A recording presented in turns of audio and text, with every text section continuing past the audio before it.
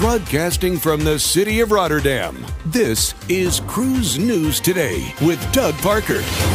Good morning. Here's your cruise news for Wednesday, April 19th, here in sunny Rotterdam.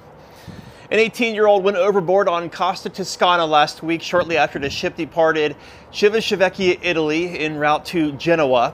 The ship did a U turn to try to locate him, and the Italian Coast Guard was also called to the scene. The teen, who was a German citizen, was located but sadly pronounced dead. No information has been released on how the teen went overboard. Costa Toscana, which is a year old, operates seven night voyages in the Mediterranean. And Cunard Line's upcoming ship Queen Anne has reached another construction milestone as the iconic red and black funnel was installed at the shipyard in Italy.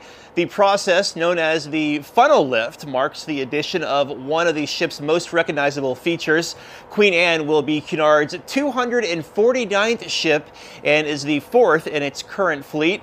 The 3,000 guest, 113,000 gross registered ton ship is scheduled to debut next May. Queen Anne's inaugural season will include voyages in the Med and through Northern Europe.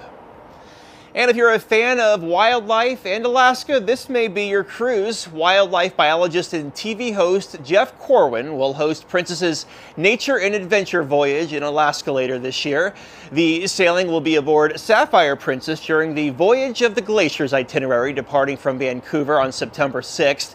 Guests will be able to interact with Corwin during the events, including keynote presentations, meet and greets, shore excursions, and dining experiences with Corwin.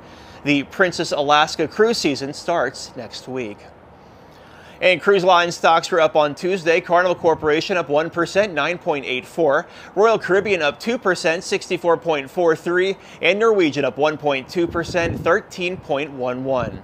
And I leave you with some scenes from yesterday where Holland America celebrated their 150th anniversary here in Rotterdam from the Hotel New York just to my left side to this beautiful ship we're on right now about to leave Amsterdam sailing for Northern Europe, Norway and Denmark. Breaking news and industry coverage at cruiseradio.net. From Rotterdam, I'm Doug Parker with Cruise News Today. Have yourself a great Wednesday. Cruise News Today is a production of Cruise Radio. Behind the scenes content and extras are now available at patreon.com slash cruise radio.